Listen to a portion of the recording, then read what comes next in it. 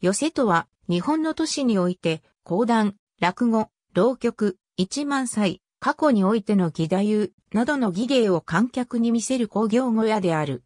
浅草の寄せ予約、席取りなどはなく、すべて自由席である。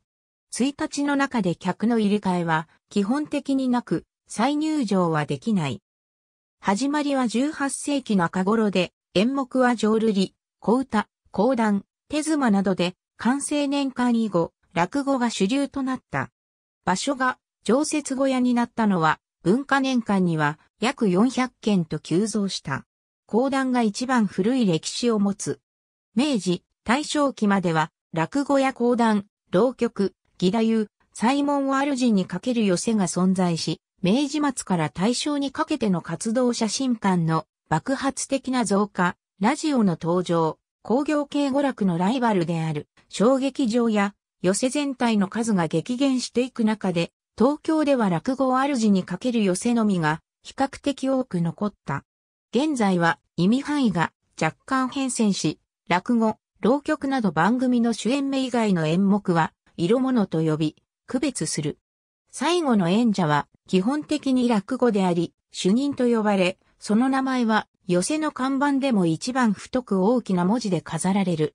鳥になれるのは基本的に真打ちの落語家のみだが、稀に真打ち以外の落語家や落語以外の演者が鳥となる場合がある。歴史が長く、今もおなじみの色物演目には、音玉、モノマネ、大見神楽、極独楽、手品、紙切り、漫談、腹話術などがあり、下火になった演目にかっぽれ、新内、デロレンザイモン、源氏節、八人芸。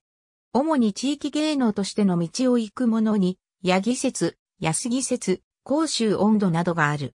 多くは大道芸として、野天や開きと呼ばれる吉ずばりの粗末な小屋から始まり、寄せ芸に転化していった。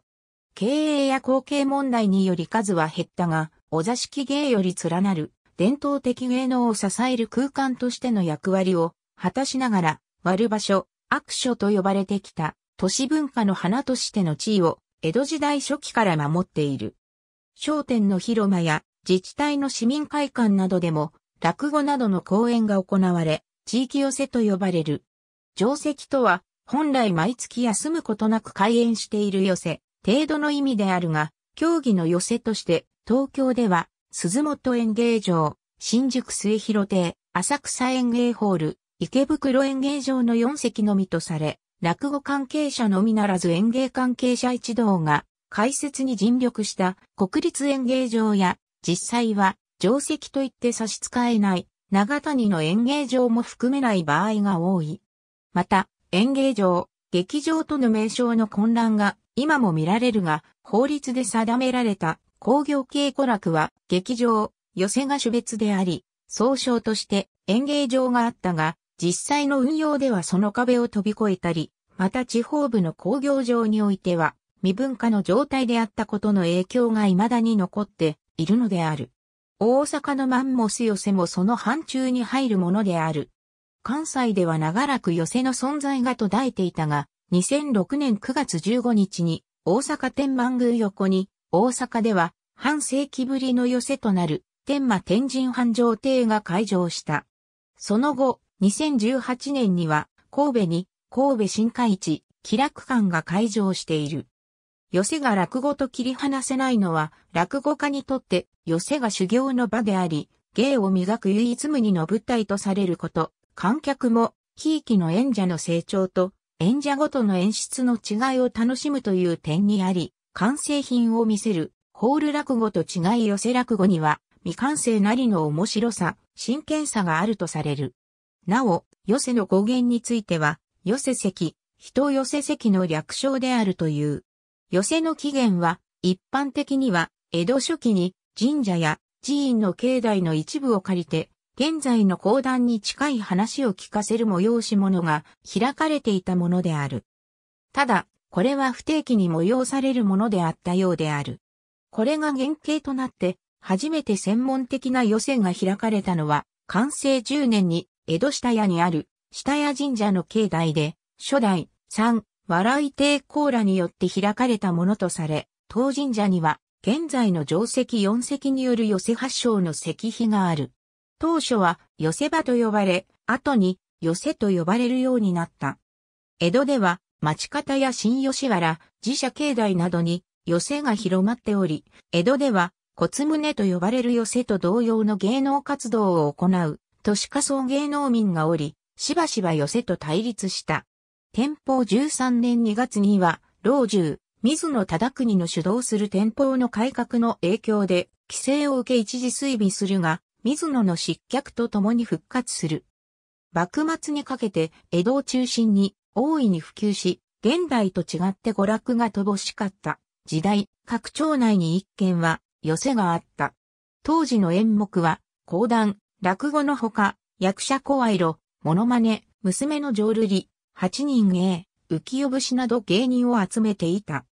明治に入ると、芝居小屋との区分の明確化、芸人観察制による状況把握、徴税が維新後間もなくの1871年より続々と始まり、巡査による臨検席も設けられた落語中高の祖、三遊亭窓川さんの道具立ての芝居話から、素話への転校や、カッポレの梅坊主が出演し、話し家による珍芸が流行、新内が寄せの舞台に上がる。ほぼ同時期に、講談の大流行、女義太夫の大流行、自由民権活動家、浮世亭こと、川上音次郎の登場に、その行動を定める前の時期である、何和説による石鹸があり、東西で規模が大きな寄せも現れた。1907年に東京市が編集発行し立ちし、東京案内は明治末の東京を知るのに右に出るものはないとされている著名な出版物である。明治39年末時点の東京がわかる。きめ細かく網羅的に東京の事物が挙げられている中に、寄せに関する記述もあり、まず、東京市内、近郊で、寄せの数は、計141件。内訳は、まず講談が、おおむね、各区ごとに一つはあり、24件。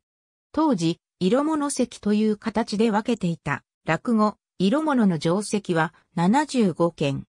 中には、有名な人形町の末広亭や神田、立花亭、上野、鈴本邸も含まれる。何和説席は30件。神田市場邸が見られる。まんべんなくあるが、特に下役浅草区から本所区、深川区にかけて多く分布している。現在は消滅した義太夫専門の定石が3件ある。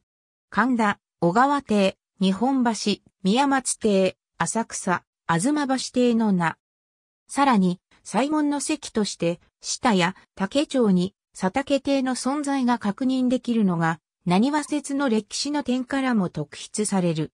この他に、混成の席の中で、内藤新宿に末広邸、品川に七大国の存在が確認できる。という内訳であるが、演目は決して固定されていたわけではなく、多くが家族経営の零細企業であった寄せは、かかる演目は石亭主の意向で自在に変わり、例えば色物石でも年に一度は必ずと言っていいほど義太夫がかかっていたという。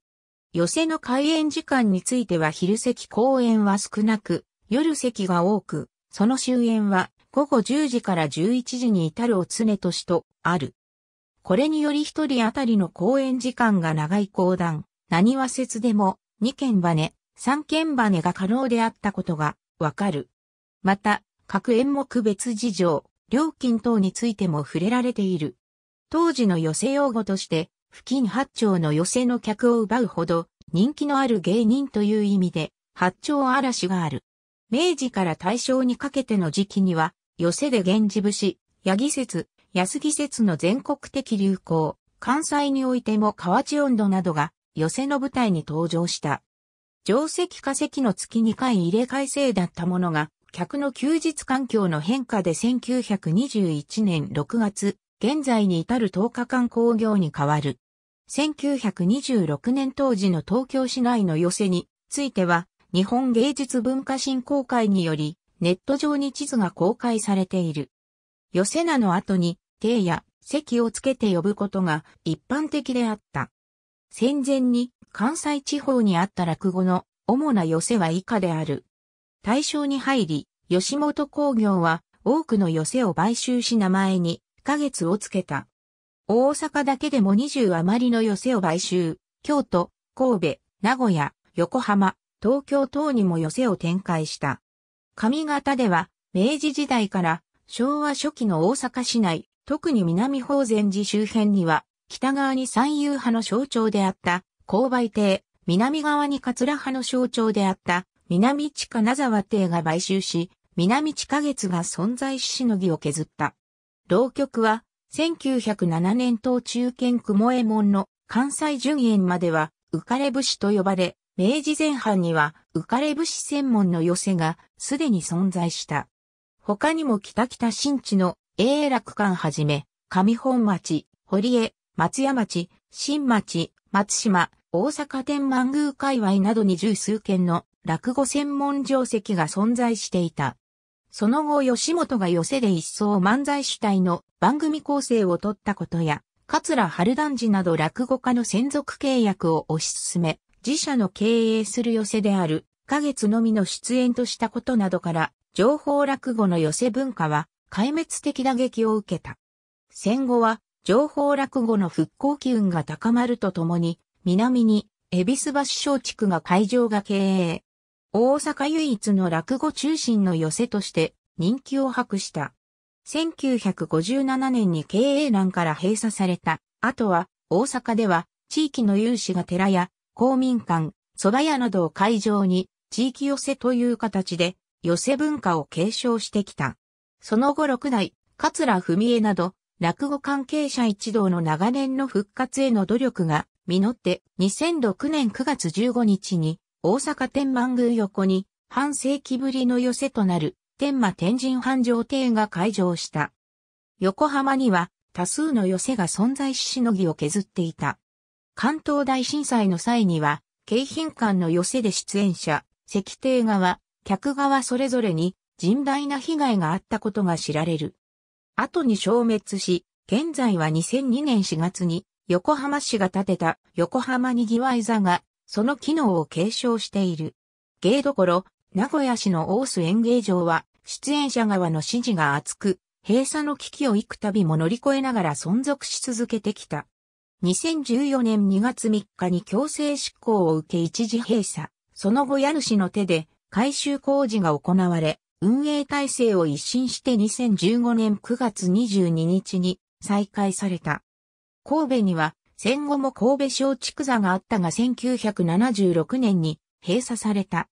2018年7月に42年ぶりの寄せとなる神戸新海地気楽館がオープンし、天満天神繁盛亭に次ぐ情報落語の定石となっている。全国的には、おおむね各県庁所在地ごと程度に寄せが分布した。今はテーマパークで有名な漁師町、浦安にも寄せが2軒存在し、芸に厳しい浪曲の難所として、全国の浪曲史に名を響かせた。北海道にも、明治から昭和初期まで多くの寄せが存在した。現在は二代目慶志公が中心となった地域寄せ、平成改新亭、狸寄せの改善国的には大正期をピークとして全国に存在した。しかし近年まで存在した寄せや歴史的に重要な寄せ以外は、全国を網羅する形で個々の所在を確認できるような文献は存在しておらず、研究の進展が待たれる。鈴本演芸場は、例外的に昼席と夜席の間に入れ替えが行われる。AB、江戸の遊びから、結構楽しいエコレチャをめぐる話題から見る聞く、楽しみ横山美香、東北大学附属図書館法、ボリューム32、ナンバーワン2007、権田康之助、民衆娯楽論、権田康之助著作集、第2巻一般社団法人落語協会。寄せってなーに ?2014 年2月26日閲覧。寄せ小屋と呼ぶが、現在では、新宿末広亭など一部を除き鉄筋鉄骨の建物である1900年代中期の東京の寄せにおける映画工業が P71 に一覧である。そこには現存する上野鈴本亭や同時光明であった寄せが載っている。出展、上田学、寄せの映画工業における観客層、日本映画創創期の興行と観客東京と京都を中心に、早稲田大学出版部、2012年3月30日。P67 明治40年の東中堅、雲井門以来、浪曲がいち早く大劇場に進出した。上田学、日本映画創創期の興行と観客早稲田大学出版部、2012年3月30日。ゴンダ P282 から283章は30年代半ばまで色濃く残っていたことは、宮崎学、ヤクザと芸能の世界、ヤクザと日本地区間新書 P112 人が集まる場所という意味で、人足寄せ場と同様の用法である。加藤秀俊、現代の寄せ、日本の古典芸能旧寄せ参考、東京府寄せ取締規則1873年9月13日、東京府、寄せ取締につき指令。出展、小木新蔵、東京時代間末年表18,822月、劇場取締規則交付警察官、寄せに臨席開始。出展、倉田義弘、明治、大正の民衆娯楽間末年表。復刻版付録、東京案内について、国会図書館司書、朝倉春彦上官 P337 から334同種のものに、東京100年史に記載の1916年の寄せ関係の数字、デロレン財門常習財門と思われる出展、芸能史研究会編、日本芸能史7現在の寄せは午後9時前後に、終演吉本工業の吉本生が仕掛け人であったという。出展、藤井総鉄、寄せよも山話、浅草木馬館は、昭和52年までは、安木節中心の上口小屋であった職人の休日が1、15日の月に会から週休に変わった。こと、それに合わせて、当時勃興した活動写真が金曜入れ替えを実施したこと出展、ただ、二郎、実録浪曲詩 P23 なお、この他の参考書籍として、三遊亭炎章山本進む寄せキリーズイス分イコール9兆7847億9050万1541がある。三遊亭炎章、寄せキリーズ関西の吉田久菊が横浜の何和摂定石、樹帝の倒壊に巻き込まれ客約200名と共に死亡した。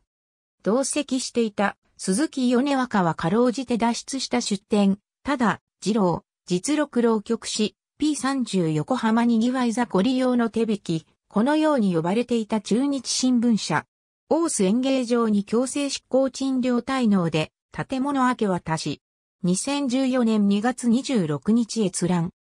日本経済新聞社。名古屋の大須演芸場、年内再開へ建て替えず耐震補強。2015年11月22日閲覧。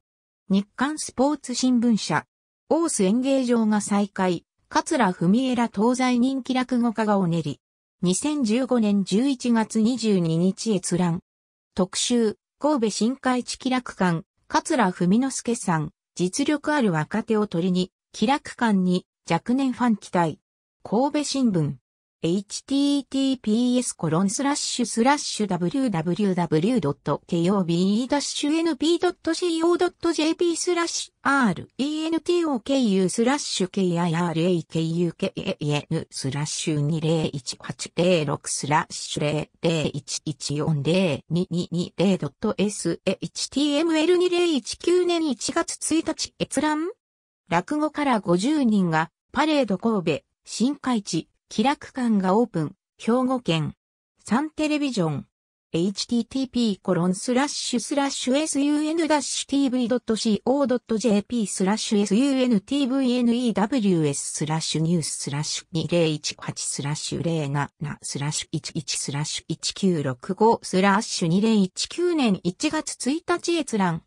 前橋、静岡、甲府、金沢などが三遊亭炎症。寄せ切り絵図にも登場するゴンダ P276 から279には、大正10年と昭和4年の各道府県別の映画館、劇場、寄せ、見物場の数の表が掲載されている。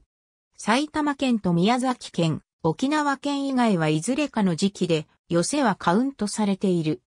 出演者の実力不足を見るや、2階席から小便をかけたという。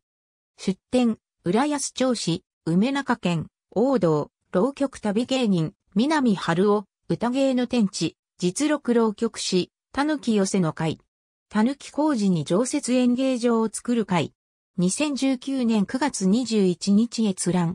落語、とにかく笑って、仙台に常設寄せ、花座会場へ引く毎日新聞 ABE を待ってました。仙台、常設寄せ、花座会館河北新報オンラインニュース、落語カフェ10周年記念平成最後の武道館落語、公演、サンライズプロモーション東京、2019年6月20日閲覧、徳丸さんがいて、2020年11月18日閲覧、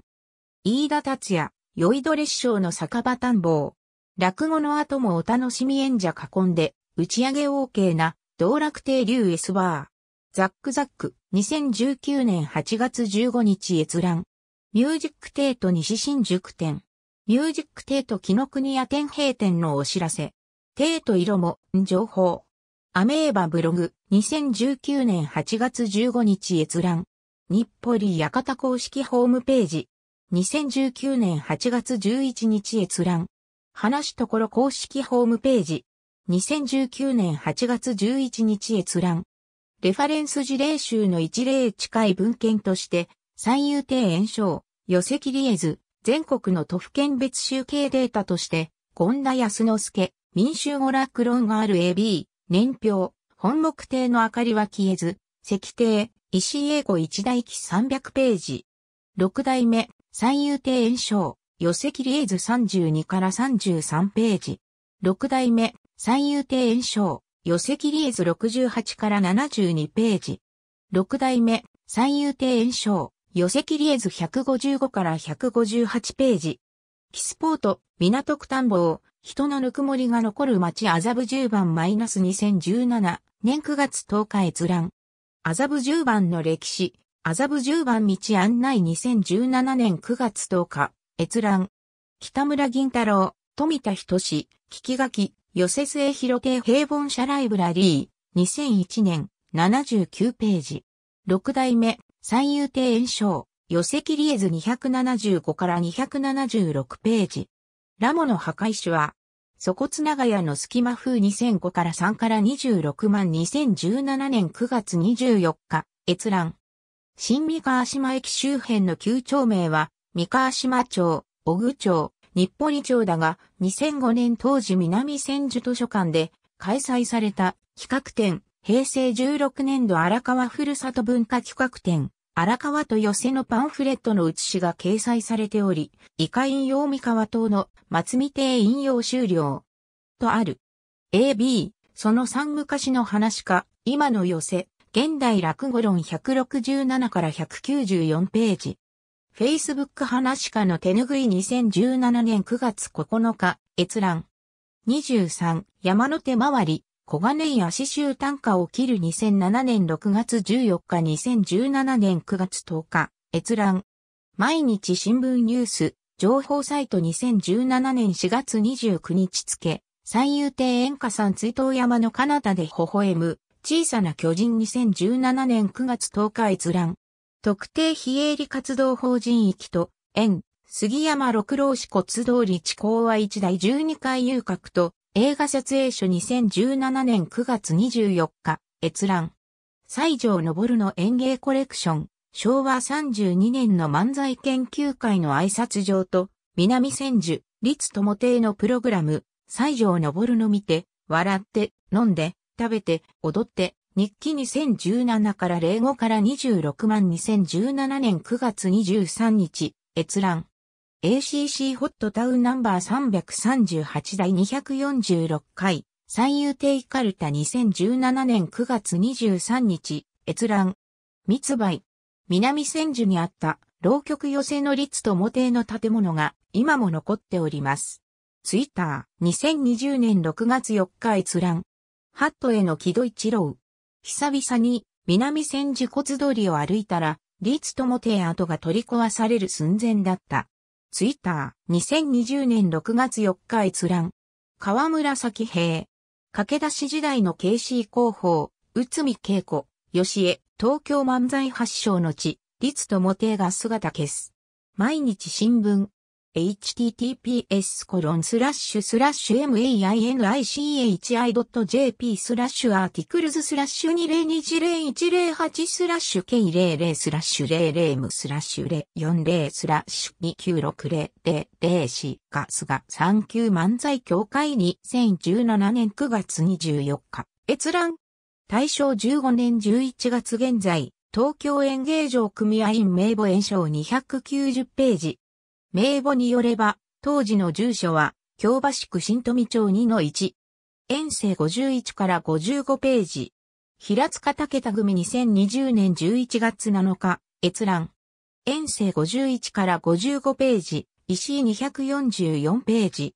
大正15年11月現在、東京演芸場組合員名簿演唱290ページや、昭和20年1月22日滝口218ページには、戦時館としてあり、終戦直後の東京の演芸場について言及した石井244ページでは、戦時会館としてある。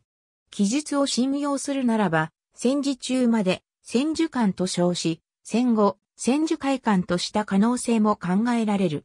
寄せ工業が盛んだった時代、その世界で中心をなさなかったバスへあるいは小規模な演芸場のこと。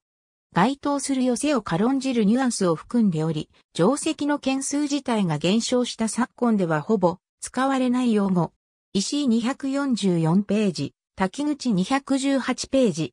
戦災からの復興と戦時の映画館2020年11月7日、閲覧のウェブアーカイブ。男子学や話虚虚実実年表。落語ファンクラブボリューム1691ページ。立川男子ロー VS 立川前場、沖縄政務次官首事件、男子が死んだ、立川流は、誰が継ぐ84ページ。